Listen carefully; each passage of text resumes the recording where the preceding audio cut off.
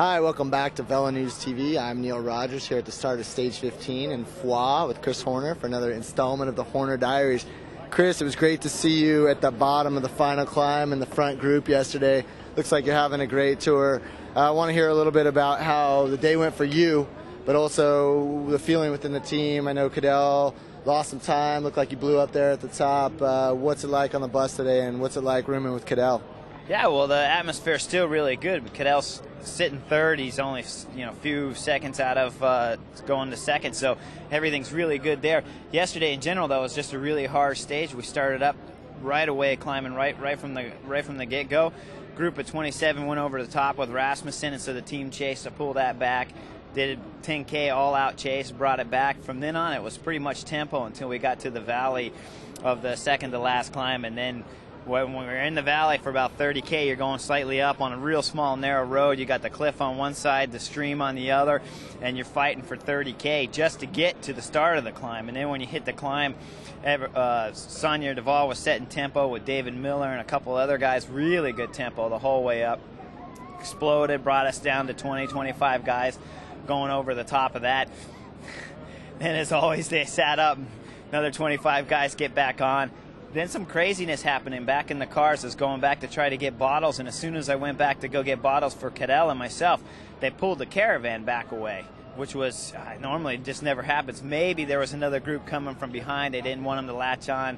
But at some particular point in time you got to feed the riders in the front too. So i go back there about halfway down the hill when the cars finally got on grab some bottles. Then they pull the caravan away. So then i'm chasing for like 2k on my own to get back on.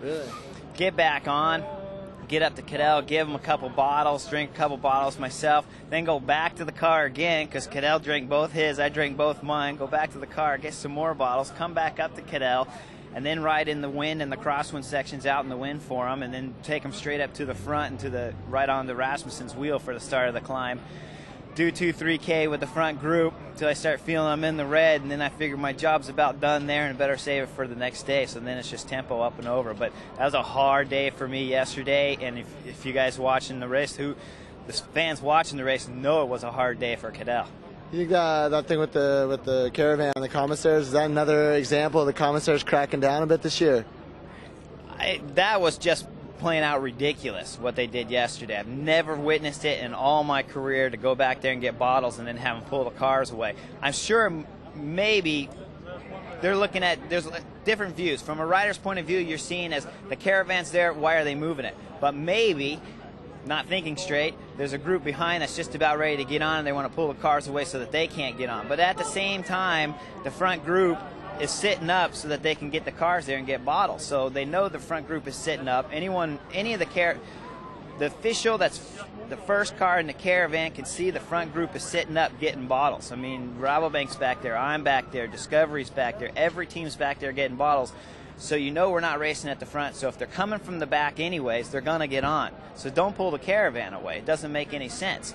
And they've been doing a bunch of stuff like that throughout the tour. They did it with Vino, where they pulled the caravan away for Vino, but they didn't pull it away for Robbie. And so they, the officials themselves have been doing a lot of things that have just not been making sense and have been costing people energy. But more importantly, hasn't they, they haven't set a standard. Yeah, so you don't it's not consistent. You don't know what they're going to do. So okay, if I knew they were going to do that, I'd be prepared for that and, and be ready mentally and physically. It, well, maybe physically you can't change anything, but at least mentally prepared that they're going to pull the caravan away. But when you're not thinking that way and you're already stressed, you're going down a crazy descent, you're getting bottles through corners at 50k an hour and 80k an hour descents on the straights and stuff, and guys, you know, handing bottles, you got them out of your pockets, and all of a sudden you look forward and the, the field is, you know, 500 meters up the road or something. You know, you're like, wow, this is crazy. And so, of course, you're upset and stuff because that's what sports is. It's all about the emotions, right? a little drama. yeah, a little drama. So more, more, I would just prefer you just just a standard policy. This is how we're going to act. Yeah. Hey, uh, Cadel had some words about Saunier Duval's pace over the Pailhères yesterday. Uh, he seemed a little upset with it, so thought it seemed a little ridiculous. And in hindsight, obviously, Mayo came off pretty early. well, was that your feelings as well? Was that unnecessary? Wow, maybe Mayo was feeling really, really good. I, I know Matxin, the director there, Saunier Duval, of course, because I rode for that team, and he's aggressive. He wants to win every race. if if he thought Mayo was riding good, if Mayo said, "Hey, I feel really good at this moment," and and you can, you can have moments where you feel really good, and then come the last climb, guess what? You just you know you're one candy bar or one cliff bar or something like that short on calories, and then boom, you bonk. Uh, Mayo actually came off before the top of that climb, so he didn't even make it to the last. He made it to the last climb with the front group, of course, but that's because he got back on when we sat up. So you would hope as the rider that he just makes a call and just says tells the director no i don't have it let's save the guys use them for another day you know and there's other possibilities of why they were chasing too but the only thing that that would make sense in bike racing uh, up front anyways would be that that they're chasing for mile miles looked good on the climbs extremely good on the climbs he's looked good this whole tour all the way to the time trial so maybe that, that they were hoping that was just one bad day yeah well, you know, we saw a few days ago in the Alps, uh, Cadel unable to stay with Contador. Uh, in hindsight, it was his, his, trying to stick with Rasmussen and Contador a mistake. It looked like he blew up and, and, fell probably further back than if he had raced his own pace the way Levi did. Uh, is that hindsight 2020, or what are your thoughts on that? Well, you know, the downside, the, the other difference would have been if he would have let him go the very first time they attacked, those two would have worked in collaboration right from the get go. So maybe he lost the minute and the minute and a half, two minutes, whatever it was at that point, but maybe would have lost three or four. We don't really know because one thing is 100% certain. The only main objective of those two riders was to get rid of Cadel. And as soon as they got rid of Cadel, you saw them, they worked together like they were on the same team.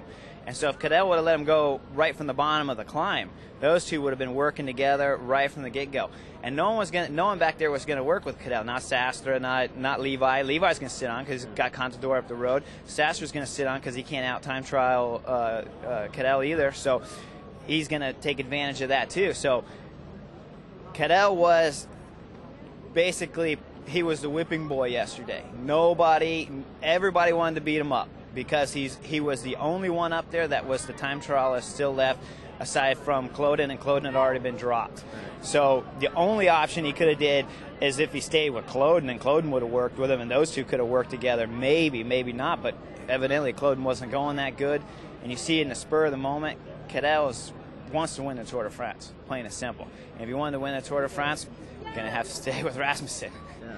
yeah, it's clear there's a lot of pressure on Cadel. Um, to be the first Australian to win the tour, and also, like you said, he can climb, he can time trial, and he's the only. I mean, Discovery they've got Levi and Contador. Going into yesterday, Astana has Kashechkin and Klöden and Vino. Uh, well, going, yeah. into yesterday, going into yesterday, no one going into yesterday at the start of yesterday's stage, no one had any doubts whatsoever that Vino was going to throw in some huge attack Everyone was planning. Cologne was up the road. He was going to wait on the second to last climb. Vino's form was back because he just got done blazing everyone in the time trial. He was going to light it up at the bottom of that climb, go across to Cologne, and, and he was going to gain five minutes on everyone be wearing the leader's jersey everyone would thought that was a possibility for sure. So they had three going into the stage. yeah, yeah, Wow. What what a surprise. I mean, what? yeah.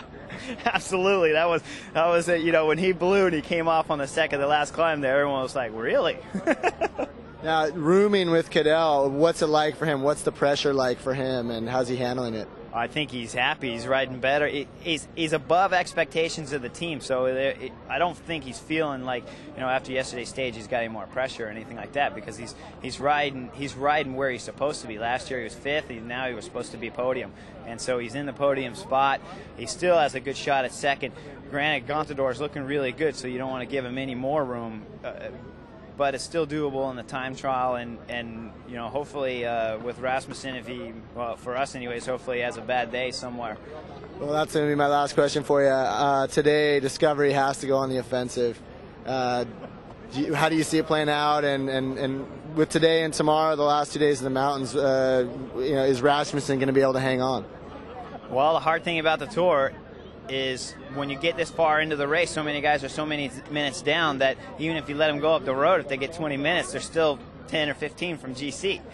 And so realistically, the only thing that they can do is fight with Levi if they want to risk Levi's spot on GC and really try to put Levi into an early move and put a, put pressure on Rabobank. But the only thing you can do right now to win the tour is you have to destroy Rabobank's team aside okay aside from Rasmussen having a bad day, you have to destroy his team before the climbs so that Rasmussen's all by himself, has to start the bottom of the climb by himself, and, and you can attack him left and right. That's, that's the only way it's going to get done. Today, you go over the climb, then you have a descent. So on the even if you can't get rid of him at the top, if there's five, ten guys with Rasmussen, he's got no teammates, and guys are willing to give up their second and thirds and fourths and fifths on GC, then maybe one guy can get away and, and mix some things up. Yeah. You know, Chris, I probably got another dozen questions for you, and we could stand here all day. But you got a race; it's a big day today. So uh, please keep sending your uh, viewer questions in VeloNews TV at InsideInc.com, and uh, maybe once we get out of the Pyrenees and things are a little bit more relaxed, we'll throw a few more of those at you. Yeah, absolutely. Rest day, we can answer a couple. All right. Thanks for the time. Thanks, guys.